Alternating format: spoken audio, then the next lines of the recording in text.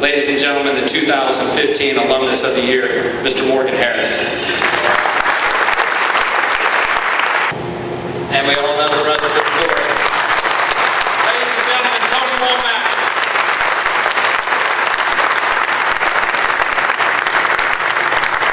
fantastic night for us. Sold out crowd. First time we've ever been able to sell out this event. So uh, jam packed, uh, you know, facility. So fantastic from that standpoint.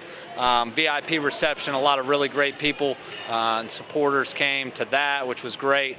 Um, Tony Womack brought down the house. Just just a fantastic night for us, uh, our program, and, and a chance to hopefully move forward and and get this year started in the in the right direction. Uh, Jim and Daphne, uh, Perry again stepping forward, really kind of spearheading this one. I, you know, with the stadium, they kind of came in late and, really put us over the top. Now that this is something they're passionate about, um, you know, Jim and Daphne Perry Pavilion, I think is the name.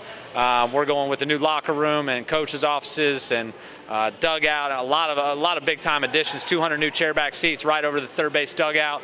Um, really going to just continue to move our program forward and move our facility forward, um, and, and and hopefully take us to the next level.